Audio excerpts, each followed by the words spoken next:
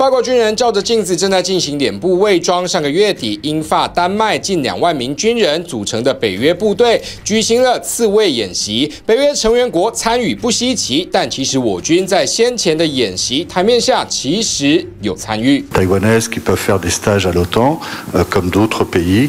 Donc il y a aussi là des points d'ouverture, mais en aucune manière ce qui se fait, ce qui, ce que nous envisageons ne pourra être affiché. 虽说是机密不能说，但副主席格里欧还是脱口了。不过其实不管台面上还下，台法军事有合作早已是公开秘密。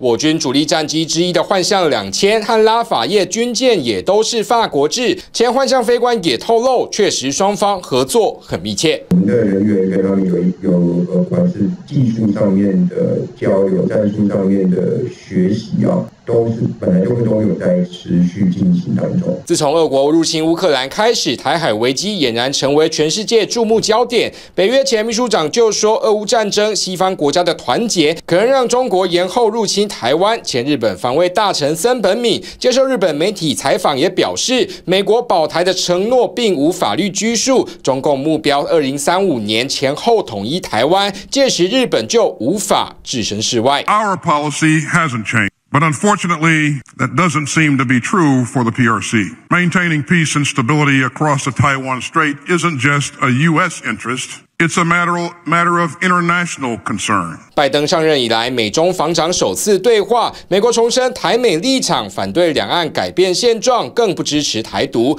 但大陆国防部长话也说得呛，若有人把台湾分裂出去，解放军将。